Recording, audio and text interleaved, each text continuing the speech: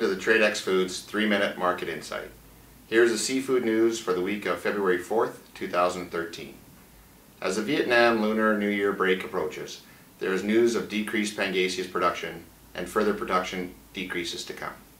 The Vietnamese Ministry of Agriculture and Rural Development indicated a 3.4% drop in output of whole Pangasius. 2012 production was finally reported at 1.28 million tons, down from 1.325 million tons for 2011. The Vietnam Association of Seafood Exporters and Producers predict a significant drop in production for 2013, from 1.28 million tons to just 800,000 tons. To make matters worse, Pangasius farmers are reportedly losing 19 cents US per kg at the current price for fish. The industry is blaming soft prices in export markets and very high feed costs for the losses. The Ministry of Rural and Agricultural Development met late in 2012 to review a strategic plan for 2013. It was discussed at the meetings deceptive practices and unethical business practices are eroding the Pangasius market. There are 300 exporters of Pangasius registered in Vietnam, of which 70 are direct manufacturers.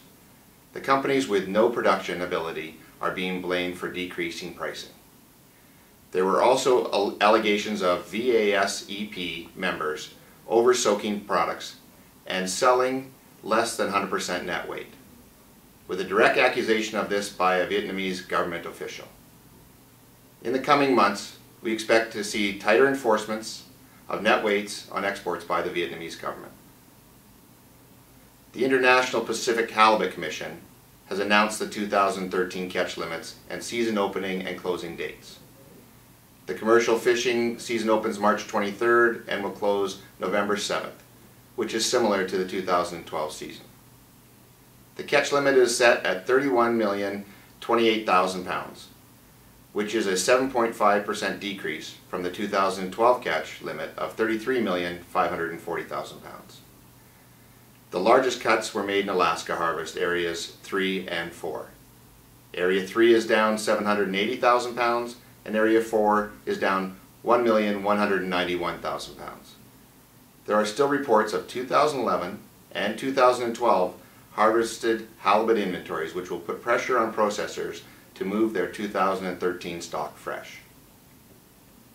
Thank you for joining me for the Tradex Foods 3 Minute Market Insight. This is Ken Radcliffe buy smart, and eat more seafood.